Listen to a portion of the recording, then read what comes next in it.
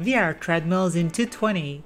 It's a sordid state of affair, not what we were hoping for. So at the moment there appears to be two major categories, slide mills and motorized treadmills. Let's start with the slide mills. Slide mills work by friction or lack thereof.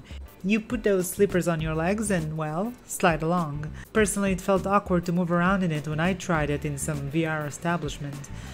As someone once said, just sliding back and forth. It feels exactly like that, like as if a big, you know, giant is, is holding on to you. Yeah, so picture this you feel a big, strong man holding you. Now, even if the one I tried was a lame sort of slide mill, most of the video I've seen of people using slide mills showed that awkward body position. Upper body wants forward, legs are at the back. It's practically a universal type of awkward walk to any of those slide mill designs. A company called Cyberith seemed to have somewhat addressed this problem with this design, adding an automated incline to wherever you turn. But even with that improvement, it's still a slide mill. However fancy the slide mill design is, whether it's an incline or not, or whether they compensate for biomechanics or not, they all seem to limit your movement in one way or another. You won't be able to sprint like this. Movement is mostly limited to walking, aka sliding, or light jogging. Even jumping tends to be limited, typically to one axis. But at least they're simple enough that maybe you can DIY one and maybe it would at least be better than pushing that button around to advance. Now let's talk about the motorized omnidirectional treadmills. This is a common theme along those motorized treadmills. See if you can spot it. And then when I stop, I'm used to imparting acceleration to my body, but that doesn't happen till later. Yes, it's a, it's a work in progress. How far you go back, it's That's clever.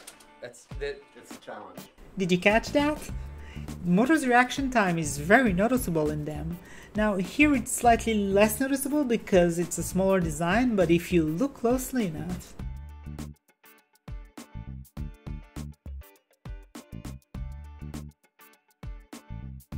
Yeah, that's why you're unlikely to be able to quickly accelerate or decelerate in those things because those motors just can't react fast enough. Now this guy made a good video about it. It's particularly noticeable when you come to a full stop or start walking. If you accelerate and decelerate slowly enough, I suppose it could feel natural, but again, limitations. Also, I couldn't find a clip of people sprinting or jumping in those kind of treadmills, which makes me question whether they are even rated for that. At least this treadmill, the Omnideck, is large enough to allow you to crawl, but see how it pushes you back? Now, my homemade solution also has plenty of flaws. First off, it's obviously not 360. It allows me only to go in linear motion. I can't walk back, it's a sort of a safety feature. And obviously I can't sidestep either. That's part of the reason why I'm getting my ass kicked in games like Mordhau.